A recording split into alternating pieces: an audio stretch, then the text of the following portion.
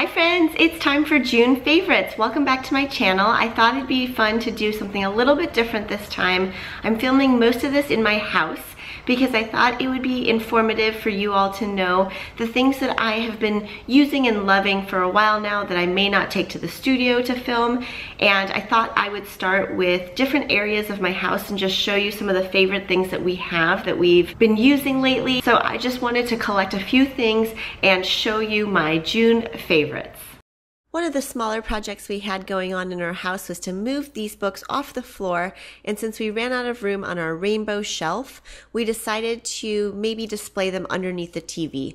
I got the area cleaned up with a Swiffer cloth, and then JC went to town arranging the books. We finally decided on a little setup where the Sonos speaker is no longer behind the books, but underneath the credenza.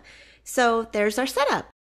One of the books we now keep in our kitchen is called Edible Selby. It's beautiful, it's gorgeous, and we haven't tried any recipes from it just yet, but look, it comes with stickers and there's a bunch of watercolor designs we had some guests in our house and they got me a gift of Sugarfina. I love this store so much and I just indulged in the apple frogs and ate them so fast. These baby champagne bears are also delicious.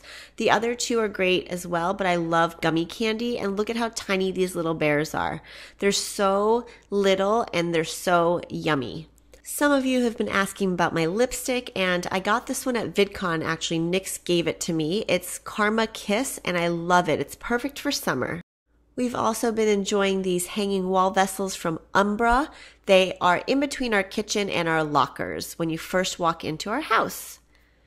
While we were at VidCon, my mom got Jack this Enchanted Cupcake Party game because he asked for it at Target and he is obsessed with it. And I know it's kind of weird that he's playing with a Disney Princess game, but hey, if he's into baking and layering cupcakes, that's perfectly fine with me. So each layer actually comes off and it's so cute because it comes with a recipe card for all the cupcakes. It's really sweet and I love seeing that he enjoys it. These are our favorite books at the moment. He also loves The Very Hungry Caterpillar, but I just love the way these are designed, and I think they're really cute and great for kids and adults. The next thing is this Kate Spade flamingo silicone case that was gifted to me by a friend of mine, Anna, in Orlando. And it was perfect timing because this Target $5 case is chipped and was completely falling apart. So I decided to open up this box and put it on right away.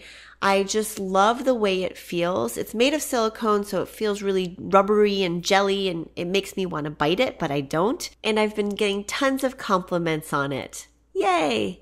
Another pink item that I've been loving recently is something that I actually received in my VidCon bag. This is a little charger. So you shake it up and then it delivers the charge to your phone and you just shake it up to turn it off as well. So cute. You may have seen the dad project on my blog. This bow punch from Fiskars is adorable. Okay, so while we were filming, a hummingbird flew in our house. This happens sometimes, but um, not that often. And then it decided to perch itself up there, which doesn't look comfortable at all.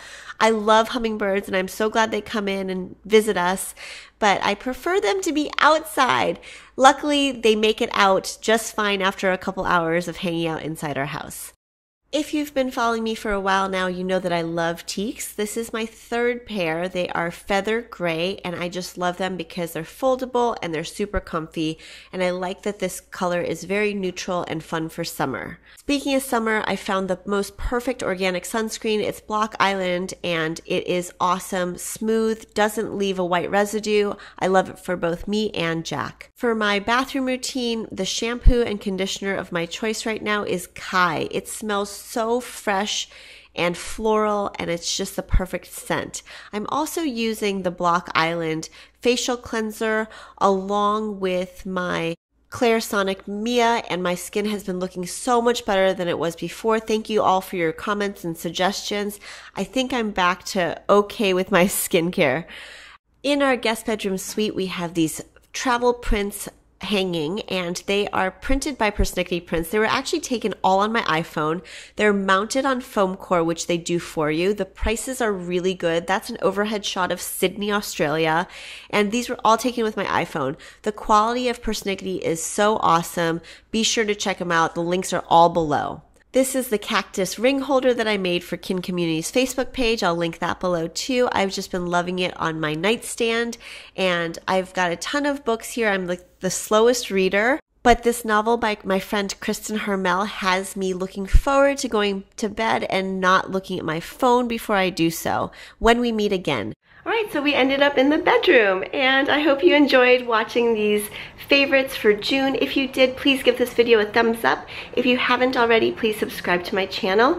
And I would love to hear your comments below. Are there some favorite things that you love for summer that I should be checking out as well? Thanks so much for watching and I'll talk to you soon.